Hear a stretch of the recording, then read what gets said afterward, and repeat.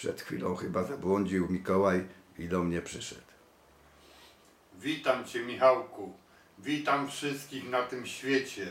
Witam dzieci, świeżutko narodzone i te starsze. Życzę Wam, ażeby ten Mikołaj Święty wszystkich Was odwiedził suto za, zastawionymi prezentami, żeby te prezenty były obfite i szczodre, żebyście miały szczęście na tej ziemi, radość, pociechy z rodziców i zadowolenia. I Wam, rodzice, życzę, żebyście w zdrowiu i w szczęściu wychowywali swoje dzieci, żebyście byli radośni i wraz z pociechami radośnie przeżywali te święta Bożego Narodzenia. Dziękuję.